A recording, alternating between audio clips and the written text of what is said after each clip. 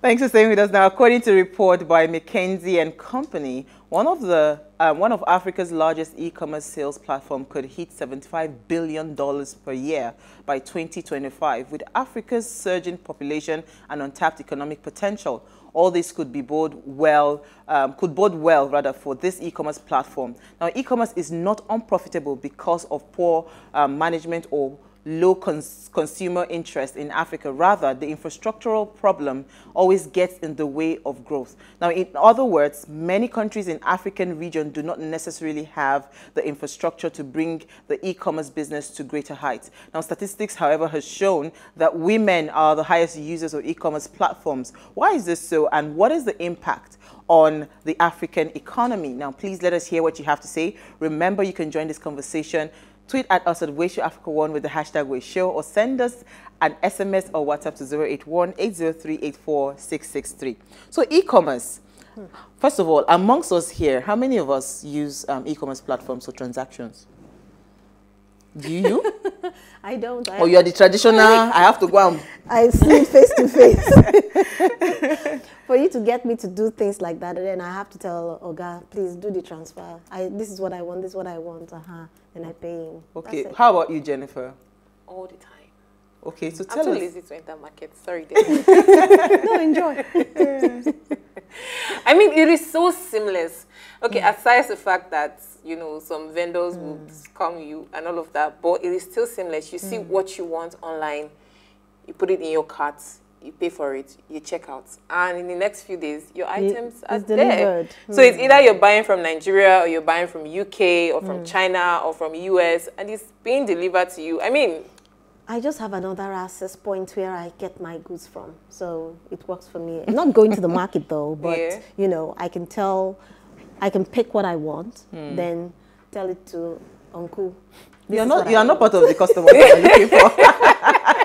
yeah, no, customer, customers. So my interaction with online, well, it's it's half and half, you know, because I've I've done some orders online to today. I've not seen the order, and it's exactly. a big platform, global platform. I, in fact, I don't even know how to go and report the matter. It was just maybe like sixty dollars or something. Okay. But I just, you know what? Let me just like I, like I, I can't even stress myself. I feel like I might know that platform. Like like I was so upset, you know you know, up till now, they've not even sent email, oh, what happened to the order, nothing. But you know what, I, I, I couldn't be bothered, you know. So it's, it's a 50-50 thing for me. And, you know, for some other platforms that I have um, I, I, have tried to do business with. Yeah. I wasn't 100% satisfied with, with what eventually I saw compared to what I saw online. online. So exactly. there's still that big, you know, that big challenge that people are worried about e-commerce. Mm. But the truth is that, I mean, COVID-19 2020 taught us that um, e-commerce is the future. There's really nothing we can do. Mm.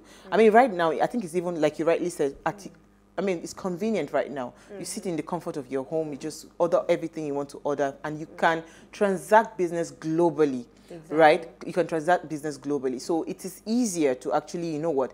So you can become a global citizen right where you are because yeah. you're able to do business with people all over the world. Exactly. I mean, that is what, e that's that um, leverage that e-commerce gives to, to us, you. you. know, but I don't know how much the um, impact it's it's uh, it's had on the African economy, and you know, like you know, the involvement of women in e-commerce um, businesses and how is how is building, you know, because some women are not just um, uh, what's it called. Um, customers, they are vendors, they are They're sellers, sellers on the platforms. Yes. yes. Yeah, you're going to say something. Yes. I was going to say that um, I can give you figures or percentages, but I know that currently a lot of businesses are actually going online. I have a friend who has a, a business. She had to build her site and you know do e uh, the e-commerce uh, site yeah, the interaction. so that yeah, she'd be able to get um, individuals come in to pay mm. um, and purchase their goods as well. And she's also doing this in such a way that you are able to, you can be the buyer and you can get your sellers. Mm in that platform without you having to source for them. Mm -hmm. It's just for them to be able to be, they, they, once they're interested in the, the, the product you have online or whoever is selling online, they can come in and buy. Oh, you know, so it, I think um, not just um, the men, but the women are also doing what they need to do. So, mm. and it's not just in Nigeria. You can buy from wherever you are um, from where, whatever country you are um, um, you want to purchase or sell Absolutely, from. absolutely. Right, so let me bring in our guest. let me help you because we are not the expert. We are, we are here to learn. We are here to all right. So learn. Mm-hmm. after growing up in Mali and working all over the world for companies like PwC or Alstom, Mul- Moulaye, yes, now dedicates his experience to African culture as the co-founder and CEO of Afrikrea. And thanks to that, Afrikrea.com now pro- um, processes about $10 million plus of transactions in 150 countries. Obsessed with service and operational excellence, Moulaye, Moulaye is convinced that distribution through the web is the key to Africa's future. And this culture, as Africa's only unlimited and growing resource, mm. is the link between the largest diaspora in the world. And he's joined us live from Ivory Coast. Thank you so much. I've been murdering your name. Perfectly. Thank you. Thank you, Moulaye, for joining us this evening. All right, so we're talking e-commerce and the um, the role of women in e-commerce business in Africa and how much impact is, is had on the African economy. Maybe you should just give us an, a general overview because I went on your website, quite interesting. I saw very beautiful African stuff, you know, and I hear that your vendors are um, a, your, the percentage of women are much more than male vendors on your platform. So maybe you should give us a bit of um, overview of the impact of e-commerce, you know, and businesses across Africa. Sure. Uh, I can start with speaking for afrikrea.com. So for us already, uh, we have over 7,000 sellers on our platform all over the world and in 50 of the 54 African countries. So it's a global business with a big Pan-African presence. Yeah. And uh, in big in this big Pan-African presence, nine out of 10 sellers are women. So definitely, uh, we are mainly supporting women entrepreneurs uh, selling globally. Wow. So what does this mean for the woman? You know, what does this um, impact mean for the woman? Oh, there is several impact. Uh, I can give you a lot of different stories. I can give you the stories of Lafalaise Dion that a lot of people maybe might know because she was worn by Beyonce. So you can see clothing uh, with cowries that Beyonce used to wear in a, in a clip recently. I think it's The Lion King. Yes. I think she wore cowries, if you remember right. The lady, the young lady that made it is uh, very young. She was a student at the time and still working two jobs to survive and actually be able to continue study. But she loved and always loved the story behind uh, historical usage of cowries in Africa and in Ivory Coast. Yeah. And thanks to e-commerce, not only was she able to get discovered by Beyonce and wore in a clip, but she sold in hundreds of countries around the world, and she's now living out of it and supporting dozens of tailors working for her to make the, the, the, the, the actual jewelry for clients all over the world. Absolutely. So what, That's one story. you can go. You can give us another story. That's an interesting story, though. Seven thousand of them, so it's, you, you just you just have to choose. But mainly, what I can say is that uh, uh, for women, it's a story of autonomy. First, it's to be able to be independent. Uh, a story also of pushing forward uh, a different narrative because people think about a lot about how can Africa present itself differently. And I think that women have that in common is that people don't take them seriously first. But when they prove by the sales, by the experience they create, people have to look up and finally realize how good they can do and how well they can execute. So definitely, I think it's it's a story of autonomy, independent, but a lot of story also of uh, fighting against the known agenda and how people see them. Okay, so um, um, hi Malai. One thing that actually struck me with uh, all you've talked about is uh, the fact that it's interesting, is um, fun, you know, it's um, borderless for people to be able to do businesses. But what about the challenges? How, how has the challenges been in this space, especially in Africa? Um, there is a lot of them. Like you mentioned before, uh, I was listening to you. There was the inf- the, the first one is the infrastructure challenge, the big one, the one that makes people don't even try because they don't know how to ship, they don't know how to get paid if they sell outside, especially in Nigeria with the different issues you have with CBN controls re- recently. But we, Africa, for example, provide a solution for people to ship from Nigeria to anywhere in the world from your home without moving for less than $20 to the US or to the UK. Wow. Sorry. That's an example of solution that can. Moulaye, can you come yes. back again? Do you still hear me? Sorry, I lost you for a second. Yes, sorry. So you said you you No were problem. able, to, yeah. Go come back again when you were talking about you're able to ship from your house to any part of the world in Nigeria. Go ahead. Yes. Yes, you can now ship with uh, DHL, so in two to three days, for less than $30 to uh, the US or UK, uh, up to 2 kg, uh, using our services. Really? Where have you been all my life? exactly. That's an example of the infrastructure solution we found because the first one was how can people ship without losing money? Because if it's too expensive or too painful, they won't even have a lot of orders. So we made it easy from your home. You can call DHL to pick up and inexpensive too. So that's a first solution. And getting paid is another solution uh, that we are working on.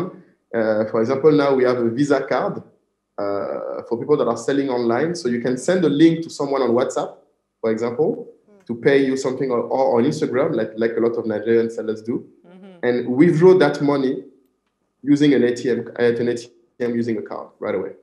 Absolutely. Jennifer, you have a question? okay. I was going to ask you, um, because when I went on your website, I saw a lot of, um, um, what's it called, fabric, fashion businesses and all of that. Why is it that we have more women, you know, running e-commerce businesses? Why is the statistics more in, in, in terms of um, demographic that is more on the women's side? Um, there is plenty explanation. Um, there is the, I might say, what people call the accidental explanation. I might say it's, uh, people often say that a woman gets first on e-commerce because as entrepreneurs, they are looking forward in terms of consumption. They look globally. They use social media more than men most of the time, especially on the fashion realm. But there is, I think, the most important reason for me why e-commerce is predominantly dominated by women is also because e-commerce is about service mainly. You have to, to, to be okay to uh, know what are the details of a good experience. I hear from, uh, from Issa's experience that people are always afraid, so you have to create trust Exactly. also. Something yeah, that is naturally something that women has to, uh, uh, unfortunately, most of women have to do most of their life often because people don't trust them. People assume things about them. And I think this experience and this kind of trauma is something that is turning into an asset when you do e-commerce. You are the best equipped to do an incredible service and to innovate when you had to innovate and serve all of. So what? Um, so what? w- they- There is a saying that uh, goes: when you train a woman, you train a village. Okay. So what, Yeah. yes. So um, in Africa, we believe in our women, and we know that they can do the unthinkable because um, they are very, very zealous when it, co- and industrious as well. So um, uh, do you think we have given the women enough grounds to actually be trained in e-commerce in Africa? Uh, to answer your question quickly, no, I don't think we, we have done enough, and uh, I believe that's the loss of uh, whole of the whole countries and the whole communities when we don't do that. Because, like you said, and I think Jennifer talked about it a few minutes ago when she said all that she had to do in her day, and she said that by default, all the everything we do, especially as Nigerian, we do it for our family, and I think it's the same thing in Mali. So even more when you're a woman, you generally support uh, a whole community behind you. And so when you train someone like that, you don't you don't only give money to one person, you actually give the training ability to someone that is going to afterwards raise a generation. So definitely uh, there is not enough being done. We do what we can because when someone creates a shop on our platform on afrikrea.com, we train them the best we can. We try to coach them to their reality in their countries and to the reality the global markets. But I still believe that this is something that, uh, for the success of our countries, we need to do more. Okay, so why did you even decide decided to you know go into Afrikrea.com? I mean, in the first place, why did you decide to start that business? Because I see that you're empowering a lot of women, you know, through your platform. Why was this? Yeah. Uh, initially, it was uh, because I was frustrated by the fact that uh, I don't know if you know the platform Etsy in the US. No. It's a it's a platform for e-commerce. It's an e-commerce platform from do-it-yourself. You know, things made at home. So mostly by women again in the US, and they are doing now $6 billion a year of sales. And I could not understand how come uh, in the US they could do this much volume from their home, when in Africa I was seeing talented people all over me, all over the place, craftsmen with years of experience or women with incredible sense of style, not being able to sell worldwide. Hmm. It, couldn't, it didn't make sense when you look at the numbers and the reality that we could not take our share of the global markets, especially when we are the most stylish on social media, mm-hmm. the most copied by brands, etc., etc. Absolutely. You cannot stay like that. You have to do something about it. Um, okay, so for now, for new or for people who actually want to join your e-commerce platform, how seamless is it for them? What are the steps they need to take for them to actually get on board to you, on your platform?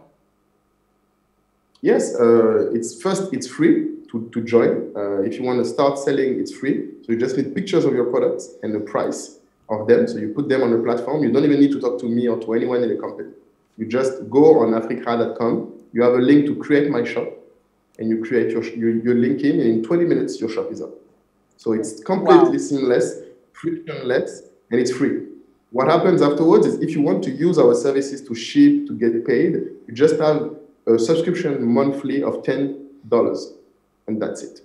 Okay, wow. are there specific um, specifics to the kind of products yeah. or the kind of um, pictures that you have to upload? Because I mean, people like me, I am very detailed and most people buy things based on what they've seen. So if the pictures are not exactly clear or your products are not looking so good, I won't be patronizing you. yeah, for sure. And you are you're, you're right to do so, and uh, that's most of the clients online. So because what you see is what you get, at least sometimes it's not even that, but at least. Uh, so the efforts has to be done on the pictures, but I believe that's something that is incremental. I believe uh, anyone can start and you can improve as you do. Some people have an eye for it, and they are, I might say, God-given talent that uh, I'm happy to see transform in actual dollars when they sell online. So it's really a matter of the scope. Everyone can try, and our job is to actually train and coach, like I said earlier, the one that do not know that a picture is first about lightning. You have to have enough light to actually appreciate the picture. It's about styling. It's about who is your client, how does she dress, what does she want to represent. And so it's a lot of different things that are behind the picture. But our job is to train people to uh, learn to do it if they don't have it naturally. Okay, so, so everyone can try, yeah, and we can help afterwards. Okay, so I know your business has come um, so far. Um, my question is, um, in time past, what are the issues that you've had between vendors and customers? And how were oh. they resolved? Um, most of the issues are generally issues of communication, I'll be honest. Uh, that's the first thing that I want to say from the African vendors I have mainly. There is rarely issues on the product itself. The quality is generally good uh, there is very little, people assume that there is a, lot of fraud, but there is not. Most of the products, when they're ordered, arrive without issues. What generally happens is in the communication. Because uh, people, mainly for Africa, have so much, and especially women, have so much to do in one day, including selling, that sometimes uh, some messages can go over the crack and people are missing, for example, information for two or three days without knowing where are the orders and where are the packages. Mm-hmm. So that's the, critical point generally in terms of uh, experience of selling online. Uh, and I think also another example you gave is, for example, someone that did not receive anything but is not getting any news. Hmm. So it's mainly communication. I think the biggest problem that at least the numbers speak, I think it's around 40% of our issues on orders are issues of updates. Hmm. Okay, but I was just Compared, good. Oh, sorry, Moulaye. I was going to ask that, you know, yeah, that communication has always been a problem. People don't respond to messages because messages can fly over your head. But what about the quality check? Do you check the products to be sure that what you are putting on your platform for your in integrity's sake, it is, is its quality enough to be able to go to any consumer? Um, yes. To answer your question, we don't check any product. Like I explained earlier, it's to allow anyone to try. We cannot check everyone because we have over 100,000 products on the platform. Mm. But what we do is ensure that we keep the funds. So when someone orders to a seller uh, for at least his first 10 or 20 orders, we keep the funds. Okay. So we let the seller know we have the funds in your wallet. They are available. We kept it so you are you know the person are paid, but you can only withdraw the money when the when buyer the has customer is satisfied. Fantastic. Okay, we're going to go on a very short break. When we return, we'll continue this interesting conversation. Stay with us. We'll be right back.